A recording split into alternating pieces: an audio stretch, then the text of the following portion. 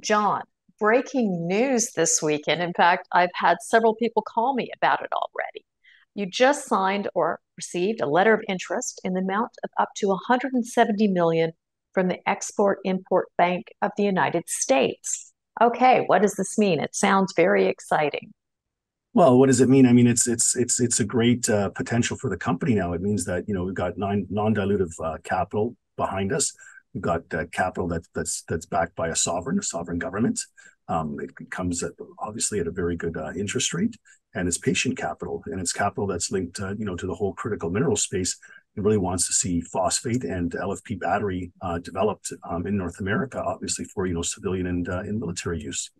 So, John, in reading about Exim and this line of credit, it says that Exim is an independent executive branch agency with the mission of supporting American jobs by support by facilitating the export of US goods and services.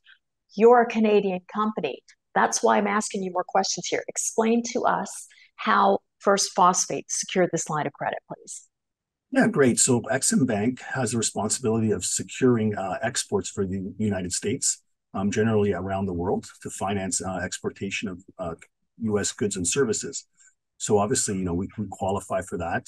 Um, the line is mostly guaranteed towards um, the purchase of U.S. goods and services um, by First Phosphate.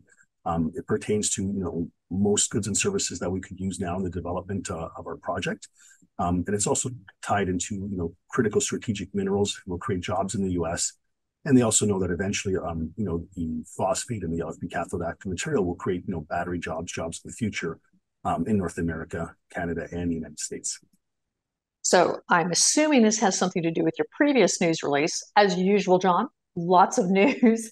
First Phosphate and American Battery Factory signed MOU to onshore up to 40,000 tons of LFP cathode active material production in North America. I'm assuming this had was some of your leverage you used for the Exim line of credit? Uh, well, you know, the the Exim process is a very long process. It's been going on for for many months. Um, sometimes when things happen, they don't necessarily happen in the order that you want them to. But this one happened in a really good order because, like you said, uh, two to three weeks ago, uh, we signed with American Battery Factory um, for the onshoring of 40,000 tons of LFP cathode active material, which at today's raw material prices could be somewhere between you know half a billion to a billion dollars of revenue by 2026 to 2028. And with the Exim line, now that gives us the, the opportunity to realize on that vision, to realize, you know, on the mine, purified phosphoric acid plant, but also the LFP CAM active material plant to actually make the material for American battery factories. We're quite excited. Very exciting news. Congratulations, John. Is there anything else you'd like to add? Because I know your team is working around the clock. Yeah, we're just very thankful, um, you know, for this opportunity. We're thankful to the U.S. government. We're, we're thankful to uh, Exim Bank for recognizing it and it's something you know we, we want to be very respectful of and uh, build a, a, great business here that's going to contribute to the uh, North American economy. John, thank you. Have a great day. Thank you, Tracy. Always a pleasure as usual.